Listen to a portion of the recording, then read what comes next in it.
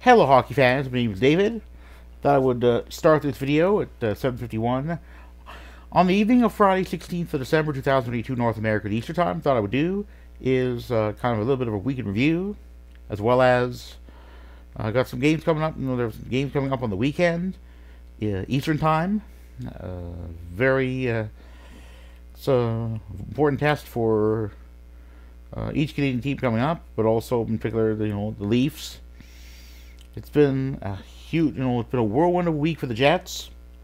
Uh, losing, uh, having their offense go cold, uh, you know, too cold against the Caps earlier in the week, and then a track meet against was it the Golden Knights? Yes, the Golden Knights. Regulation loss by one goal.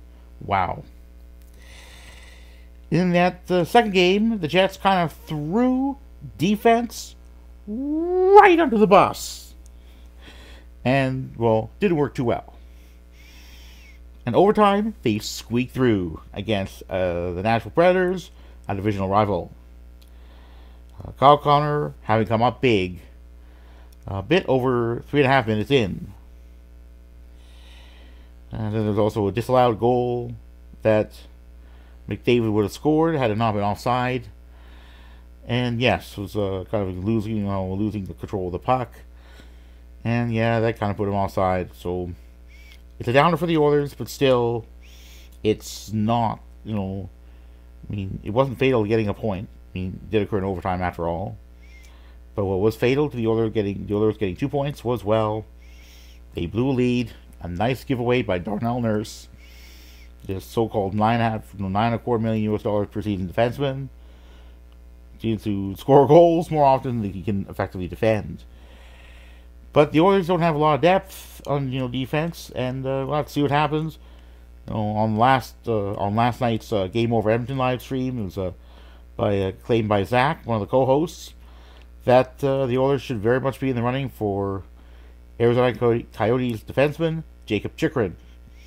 All loads talk about Chychrun and you know, you know, and whether he's going to move. But you know, the Coyotes seem to want a couple first round draft picks I don't know what's going to happen. I mean, there are those who claim that uh, Sportsnet Oilers analyst Mark Spector is out of his mind to saying that, oh, the Oilers don't need Chychrun, they need someone else. You know, it's kind of a truth, know, kind of maybe somewhere in the middle. The question is, where is the defense? What is Ken Holland, GM, uh, since the 2019 offseason is going to do? Trade deadline this uh, season is a bit earlier. In last season, teams kind of like got stood up on their heads because of you know, originally it's supposed to be NHLers were going to be uh, anyone under contract to an NHL team was going to get to go to the Beijing Olympic Games. Then that didn't happen because this uh, Omicron, you know, the original Omicron variant of COVID, kind of, kind of struck Canada and the contiguous United States hard with NHL markets, with states and Canadian provinces with NHL markets not exempt. There were too few that were, and therefore, well, we have some games involving Canadian teams moved from December to other months, and it's crazy, and it was. Uh, so yeah, COVID is not over. It wasn't over then. I don't know if it's over now. I mean, even if uh, even if December is free of any Omicron type hit, that that means that games are postponed. So you know, last season the trade deadline was well into March. With the playoffs, Stanley Cup playoffs expect to end sometime, you know, kind of you know late in June, and the draft in July at some point. Uh, whereas this season, believe the draft is in June. And let me see here. Trade deadline is early in March. So basically, teams around the league have, you know, pretty much the rest of this month, next, and in and February to make deals. I mean, of course, they can do in March, you know, for a couple days or so, one or two days. But the bottom line is, I mean, the season is supposed to end earlier, you know, mid-April is when the regular season is supposed to end. Postseason is expected to begin I believe sometime between the 15th and 20th of April Eastern Time. Just how that's going to go, hard to know. There is no Olympic Games, at least Winter Olympic Games, coming up, so that means the NHL does not have to decide this season whether players should players under contract of such teams should get to participate in the Olympic Games. That will be for 2026, for the 2025-26 season, when the Olympic Games will be will be heading over to the north of Italy. Uh, I like to call them Milan Cortina Olympics because of Milan and Cortina d'Ampezzo being co-hosts of such games. To be determined uh, which hockey teams are going to qualify. But I good bet the Canadian, you know, the Canadian adult men's team is going to do so, and the adult women's team, the American teams are going to qualify. Well, the two American teams are going to qualify, and the usual suspects in terms of uh, adult men's teams, and uh, at least on the adult men's side, adult women's side, I don't know. Beyond the Canadians and Americans, well, the Italian ones will, will definitely qualify because they're co-hosts. Uh, the question is for participation of the Russian and Belarusian men's and women's teams. That's to be determined. With the two teams from the former Soviet Union still suspended because, well, the four teams are, you know, still suspended due to the, uh, you, know, according to the IHF, the involvement of the Russian and Belarusian governments uh, in the invasion of neighboring Ukraine. Latvian men's team probably, you know, maybe there, who knows. But again, in basically Canada, United States, Italy, on the men's and women's sides. Um, probably some of the other usual suspects, among them, at least on the men's side, Sweden, Finland. See here. You know, you combo, you Sweden, Finland, uh, Czechia, Slovakia, and uh, here. I draw backs. So it's a little bit different in terms of Olympic qualifying than World Championship qualifying. World Championship top division on the men's side. Basically, there are 16 teams that uh, that get to play in the top division, and two are relegated. So, okay, enough of that. Uh, uh, the Cortina, you know, the Milan Cortina Olympic Games are uh, slightly over three years away, so it's all speculation and gesture which teams are going to go, who are the players going to go, doesn't matter. So, now I'm going to do is go to the games, and before then, go to the standings. So, let's see how the teams are doing here. So, Leafs, the, the Leafs end up losing their first game in regulation in over a month. But still pretty, pretty respectably. Oops. Ah. Oops.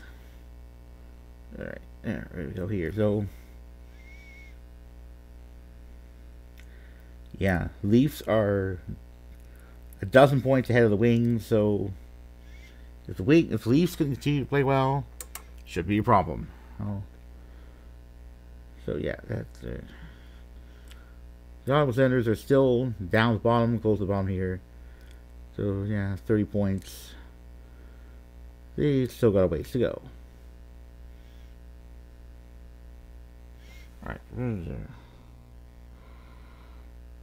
Alright, so so five points up here. So you know, the Habs and Senators are 38 35. So, yeah, so the Habs are kind of real. Senators are still quite a bit way back. Who knows? These Jets with a win are in a top three divisional spot. So they have uh, 39 points. Um, seven up on the Avs. The Oilers are, as they were, one the games that take place on this Friday evening. Uh, tied with the uh, crack with the Kraken uh, for terms of points, but again, when it comes to the Pacific Division, it's tight, folks. Calgary Flames, yeah, they're it's tight over there, but again, problem is that these Flames have been hot and cold. They've lost four games in a row. Uh, three points in those games, but still, that's three out of a possible eight. No good. Flames, uh, our next going to be next in action uh, in slightly over, you know, I'm starting slightly after nine Eastern time on Friday evening. So now what I'm going to go to where do I go to scores? All right, so.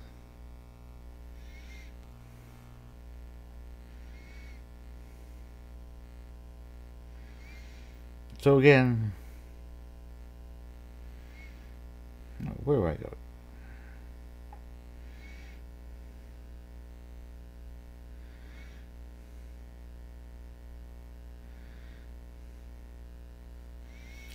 So I'm going to do is go to Sportsnet, and uh, yeah. Oh, you just go.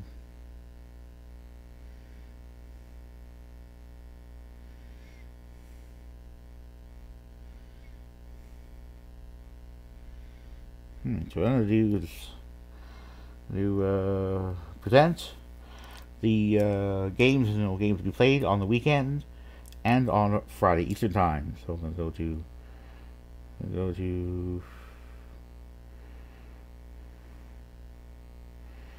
So we have on the schedule on this Friday Eastern time only one Canadian team in action, the Flames hosting St. Louis Blues, starting a bit after well starting sometime, believe between 9.05 and 9.20 Eastern Time, after taking taking into account pregame ceremonies over at the Scotiabank Saddledome.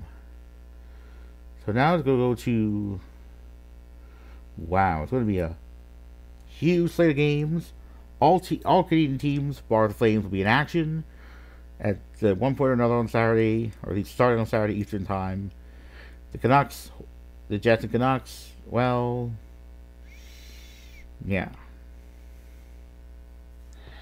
No surprise that uh, Canuck Clay, uh, aka uh, Clay Imoo, claimed in a video put out hours ago that uh, the Canucks would be retooling for the season, at least for now.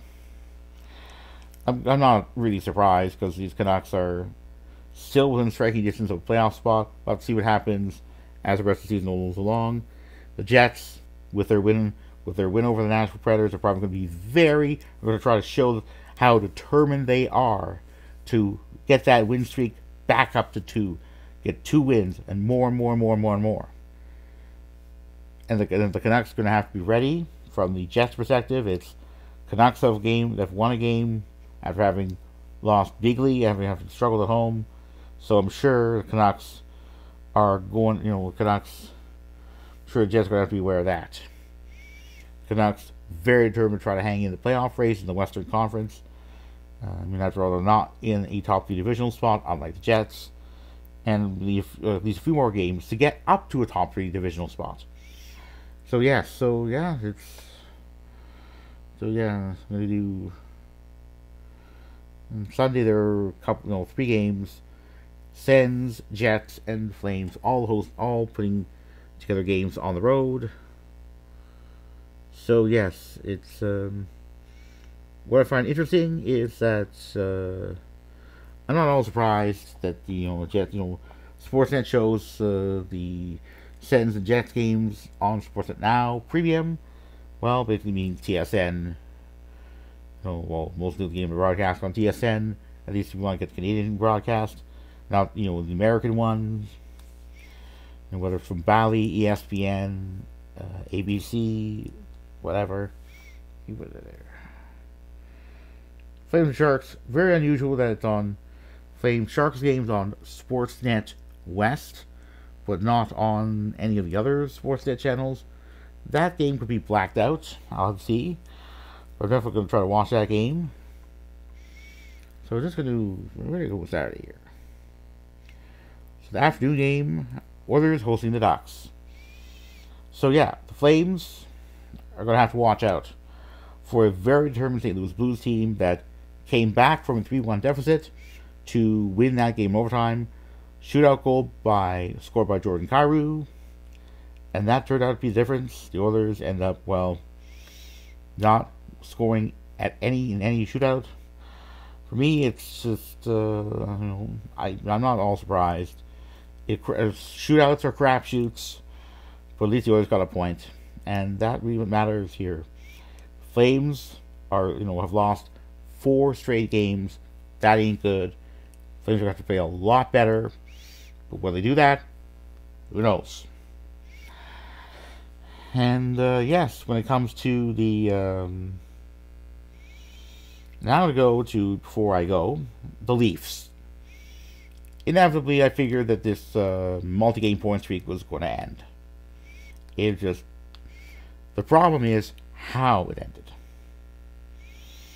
And uh, a uh, tweet from the uh, TSN Hockey, uh, a video tweet posted on the TSN Hockey Twitter page, uh, claimed that the game between the Leafs and Rangers had been a relatively quote low event unquote one.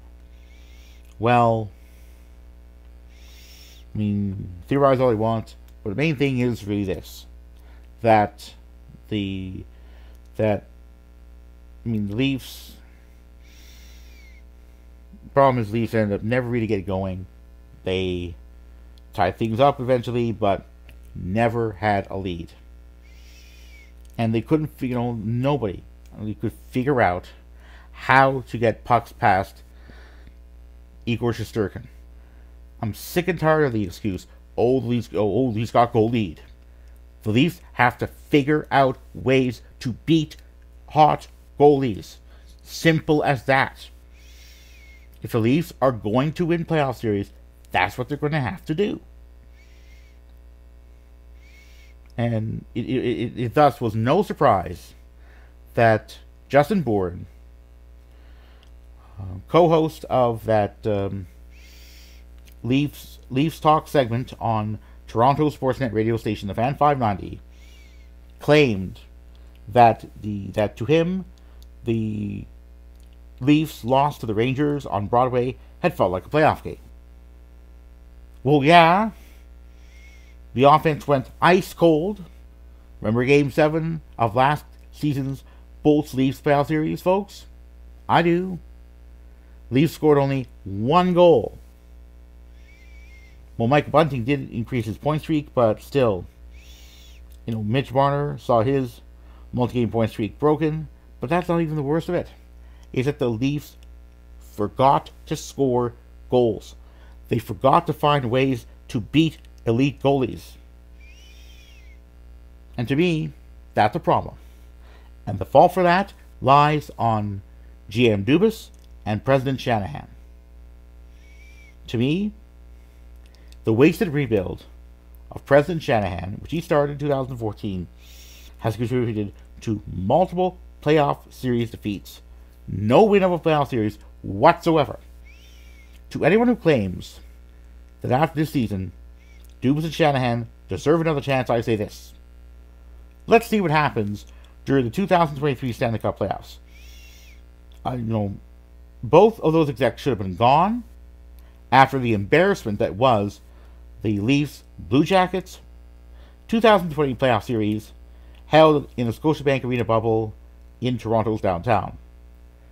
Problem is, they're still here. Will they finally be fired if they if the Leafs fail to win a playoff series? We shall see. It's not like either exec has been held accountable. Even with the contract of Kyle Dubas up for renewal at the end of the season. Indeed, I have come to expect, when it comes to playoff success, I have come, I have become very disillusioned about whether the Leafs are going to ever win a playoff series with this score. Leafs were up three games to one against the Habs in 2021. And what happened? The Leafs choked. Simple as that. They don't have the players who can win playoff series. They have that killer instinct when it matters in those tight games. And that's an issue. To me, it's very simple what Maple Leaf Sports Entertainment, the, the board of MLSE, needs to do. If should the Leafs fail to win a playoff series, it needs to fire Dubas and Shanahan and replace them with competent executives who understand what it, what the need to put together a quality hockey team and if that means stepping on players' toes, well, figuratively speaking, so that the so so there's a, you know a more you know you know a more you know an allocation of of of cap hit that is you know, that you know that reflects the reality of the salary cap. That is what should happen. Indeed, as much as the regular season has been a very successful one for the Leafs so far, they can't take that for granted. Alex Ovechkin and the Capitals will be hosting the Leafs on Saturday. Will the Leafs be ready? It's going to be broadcast on Hockey Night in Canada, at least on uh, Sportsnet's shooting Ontario, West, and Pacific channels. The game features the and Lightning will be hosted and will be uh, broadcast on Sportsnet's East channel. I probably won't be watching too much of that Habs game because, well, the Leafs will be on, and at least no other teams on. You know, simultaneously the, the, the Habs and well, the Habs are in rebuild mode, and who knows what's going to happen. The Leafs have to be ready because the Lightning are on top of the divisional spot, and it could be it, may very well be the Leafs end up playing the Lightning. It doesn't, you know, whatever the result of the Habs Lightning game is, it's simple. Leafs need to stick to their game. They need to put goals past whoever, whichever goalie uh, Caps head coach Peter Laviolette decides to use. I believe there's uh, Charlie Lindgren's one of them. I forget who the other one is, but I'm gonna let I'm gonna end things on that note, and it is now eight thirteen Eastern time on the evening of Friday, 16th December. I'm definitely looking forward to watching the Flames host the Blues. And I'm going to cheer it on the Leafs, see if they can uh, rebound from being being Shesterkin over on Broadway. I mean, I got, my concern is not a five alarm fire. Not yet. But again, if things get as bad as they did for the Flames to start off November, then I'll have you know my concern will will will elevate. But we'll see what happens with the Leafs against the Capitals. The Leafs did beat the Capitals. Um, just going to see what the records are. Just going to uh, give me a moment here. Alright, so...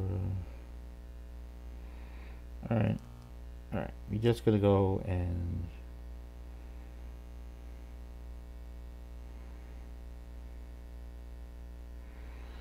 So I'm going to do is going to go to the... Oh, wait.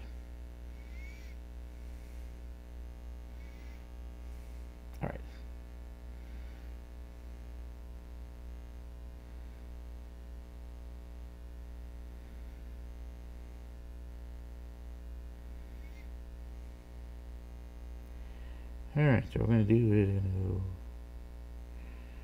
is, is uh, oh, okay, Hathaway Lightning TV.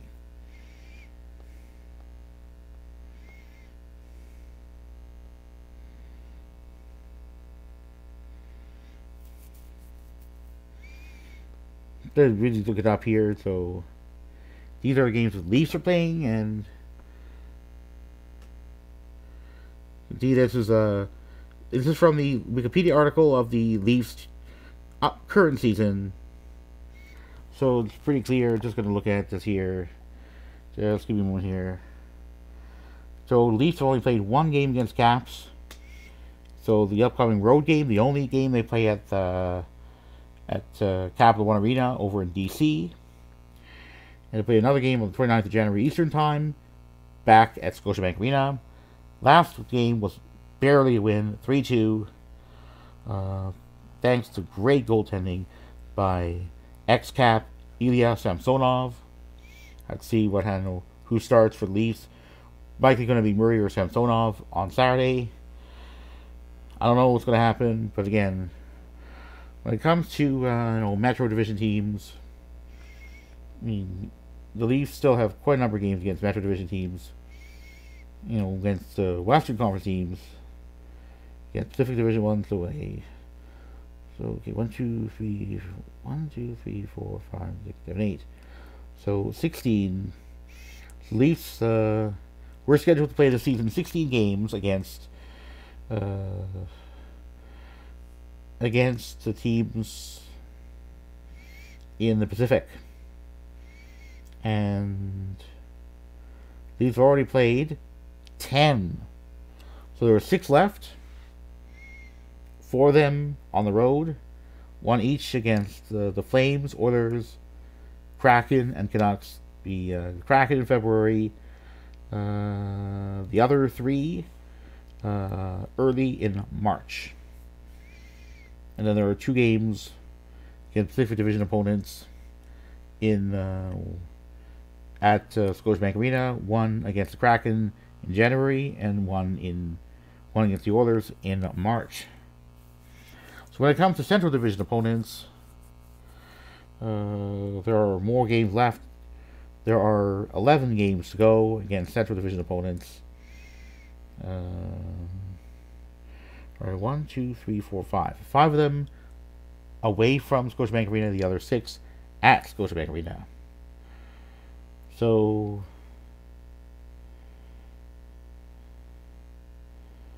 so they've all right. So we have 1, 2, 3, 4, 11, 11, 15, 19, 26. So 6 there, 3, 6, 9, 12, 15. So Leafs have 26 games against the Atlantic against divisional opponents, 24 games against other Eastern Conference teams, or they did, or at least they're scheduled to, and uh, 32 games scheduled they were scheduled to play against Western Conference teams. So when it comes to games Leafs are scheduled to play uh, in Western Conference arenas, they have these have one, two, three, four, five, six, seven, eight, nine. So nine games left uh, to play at Western Conference arenas. Uh, that's pretty much it. So yeah, so Leafs Leafs in their own time zone uh, will be playing. Or how many games do they have left here? So we have. Uh,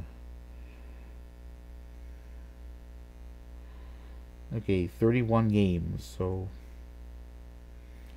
so 31 games Leafs have played. So right, we have so in terms of um, 30 games they have left. So they played 30 games. So yeah, okay, 31. So that means Leafs have uh, all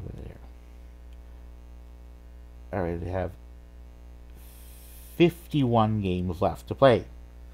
So of those 51, they only have 9 that they have to play outside of their own time zone. So one of the beauties of being an Eastern Conference team. Play games in their own time zone, well, for the most part. Didn't used to be that way. The Leafs were part of the Western Conference in the 1990s, or what would become the Western Conference, and played in 1989 90, 91, 2, 3, 4, 5, 6, 7, 8. So yeah, Leafs played eight seasons in the 1990s that ended in the 1990s in what would become the Western Conference, but what was earlier in the decade known as the Campbell Conference. Then it was switched over to what was the Wales Conference, but had by then been renamed the Eastern Conference for the uh, remaining season that was to that took place in the 90s, and they ended up in the conference final, ended up losing the Buffalo Sabres in five games, as opposed to seven against the Kings in 1993 and five to the Canucks in 1994. Anyway, I'm going to wrap this up. It's getting uh, already quite long. And on that note, I'm going to say, go Leafs go.